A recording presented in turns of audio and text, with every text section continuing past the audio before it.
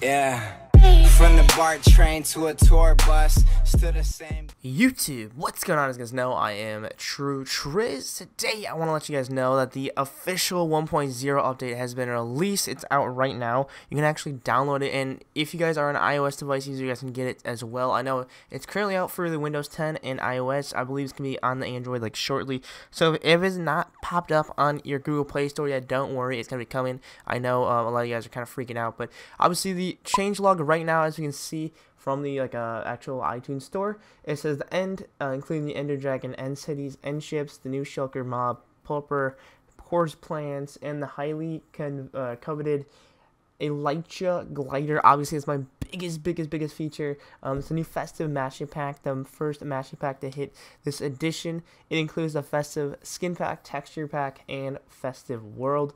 And then they double the height. You can build 256 blocks high igloos and polar bears for your winter wandering. So super super exciting guys it's finally here it's finally a release so make sure you guys go ahead and drop a like on today's video right here. I'm going to be live streaming very very very shortly so make sure you guys do stay tuned for that but i'm super super pumped to let you guys know that the 1.0 update has officially released. You guys can go ahead and download it and uh, it's going to be an awesome awesome time here on minecraft pocket edition. But anyways though my name is true triz. Expect some awesome streams coming for you guys today. I'm super super pumped super super happy to be able to do this to you guys. So make sure you guys stay tuned. Also, too, if there's any in particular item or feature you guys want me to showcase, any secret stuff, um, make sure you guys let me know too. I'm 100% down to do a little bit like a scavenger hunt, if you would say, and try to find some secret stuff that was included into the 1.0 update. Uh, but holy moly, here we go, guys. This is the first time